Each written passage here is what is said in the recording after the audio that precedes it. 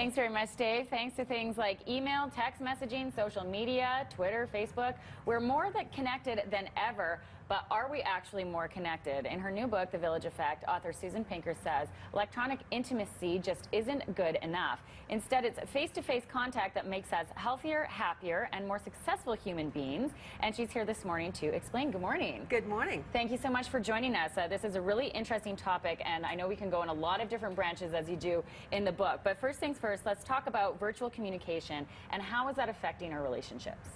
Well, you used the word intimacy a moment ago, and that really strikes at the core of things because not all types of contact are created equal. There really isn't any intimacy in online con connection, and that's the problem. It's great for sharing information, it's great for searching, but it's not great for establishing trust, solving complex human problems, forming relationships. It's just not the same. Mm -hmm. And it actually can create uh, an isolating effect. Yes, there's a phenomenon that we psychologists call the rich get richer and the poor get poorer, which is that people who are outgoing and extroverted, they use their online contacts to just do more of that. They connect with their friends. They say, let's meet here for dinner at this time.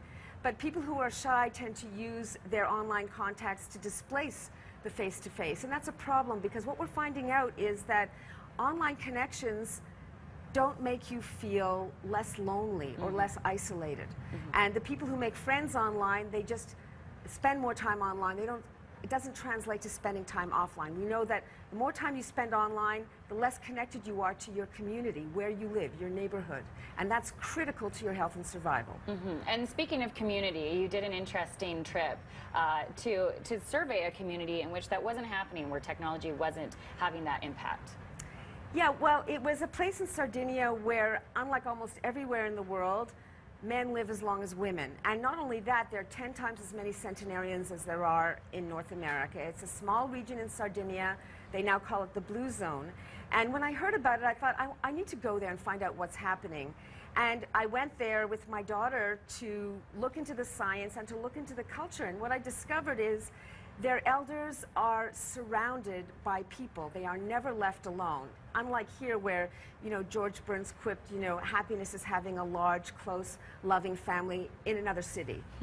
there, you age in place, you live in your house, your neighbors, your friends, the priest, your colleagues, everybody drops by to say hello to you and bring food. It was a problem for me, actually, because I never got to see the centenarians alone. They could never finish a sentence. Hmm people were always butting in and interrupting and interjecting their point of view, but it's such a contrast to the way we age here. Yes. And in that way, you're really being held up by people and raised by a village, so to speak. And did you find, what other differences did you find?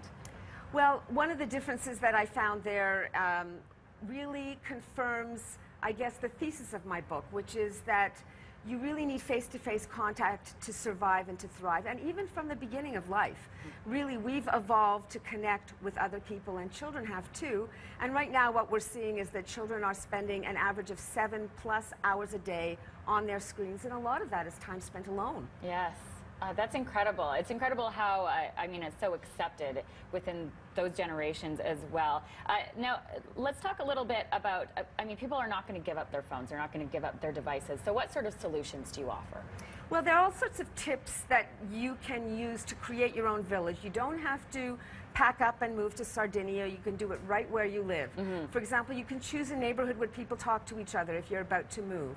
You can make sure that you have definite meals with your kids because nothing predicts their vocabularies and their school success like family meals where you're talking to them over the table. That means family meals with no screens. Yes. Um, you can make sure that you have integrated contact in your day. So you look at it like a regular meal or like exercise. Have I had social contact today? If you don't, build it into your day. Get up, walk down the hall and talk to your coworker. Don't just shoot them a text or, or an email. And look at it like your appetite.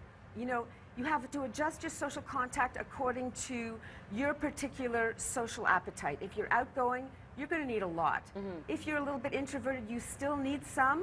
You need to build it into your day, but you may need less and in a more controlled environment. So sort of look at it like the way you would fill your plate at a buffet for example. Mm -hmm.